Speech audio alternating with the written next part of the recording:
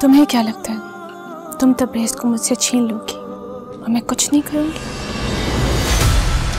मैं यहाँ सिर्फ़ अपने हक के लिए बात करने आई थी। तुम सद के खैरात में पलने वाली। मेरा मुकाबला करो। मुकाबला करो। मुकाबला करो। एक बात कान खोल के सुन लो तो।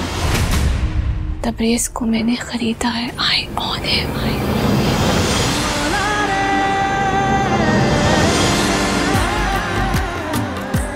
देखिए कलंदर आज रात आठ बजे सिर्फ़ जियो पर।